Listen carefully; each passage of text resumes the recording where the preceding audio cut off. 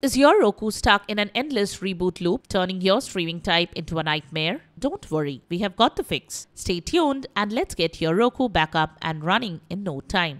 Hey everyone, welcome back to Silicophilic, your go-to source for tech tips and fixes. If your Roku keeps restarting over and over, you are not alone. This is a common issue, but luckily, there are a few fixes. In this video, we will walk you through the top solution to stop the reboot cycle and get you back to streaming your favorite shows without interruption. Let's dive in.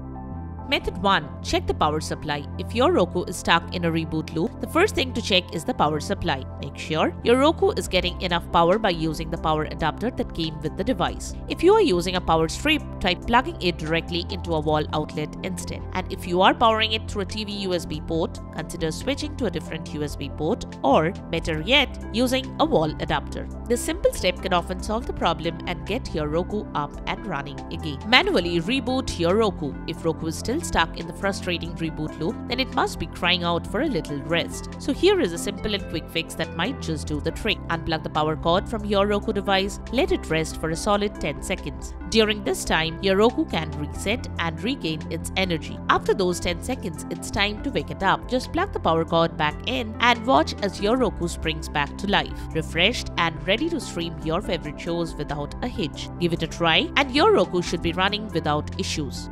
Method 2. Check HDMI cables. Next, make sure the HDMI cables connecting Roku are smug and secure. Take a moment to double check that both ends are firmly plugged in, one into your Roku and the other into your TV or monitor. Sometimes they get a bit loose without us even noticing. Also, check the condition of the cables. Over time, wear and tear can lead to issues. Inspect your HDMI cables for any visible damage, like fraying or bending. If you spot any issues, it might be time to swap them out for a new one. If you have a spare HDMI cable lying around, give it a try. Sometimes a fresh cable can make all the difference. Just unplug the old one and connect the new one in its place. You would be surprised how often this simple step can solve your streaming woes.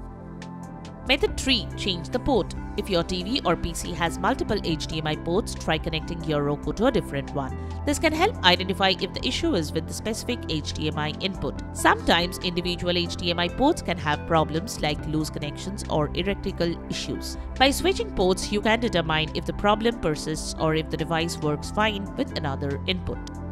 Method 4. Ensure good Wi-Fi signal strength. When your Roku device keeps rebooting, it might be due to weak Wi-Fi signals that struggle to maintain a strong connection over distance or through walls, furniture, or other obstacles. If your router is far from your Roku, this can cause dropped connections.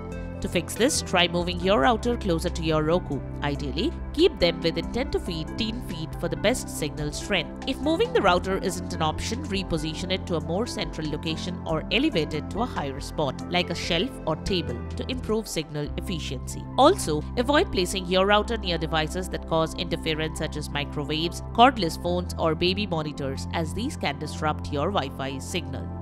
Method 5. Cool down the device. Roku can also reboot due to overheating issues. Unplug the device and let it cool down for about 10 to 15 minutes in a well-ventilated area away from heat sources. Ensure it has a good airflow and isn't covered or obstructed. Clean any dust from the device and avoid placing it near items like windows or other electronics that produce heat. Once it's cooled down, plug it back in and see if the issue is resolved. Proper cooling can prevent overheating and ensure smooth performance.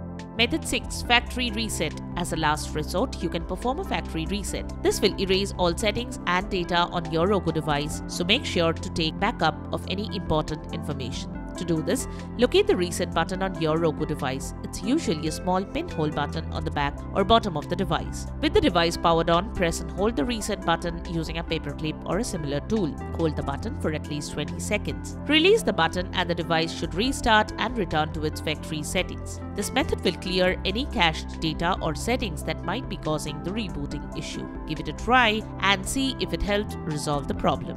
Method 7. Contact Roku support. If the methods shown in this video could not resolve the issue, you may need to contact Roku support for further assistance. They can help diagnose more complex hardware or software problems.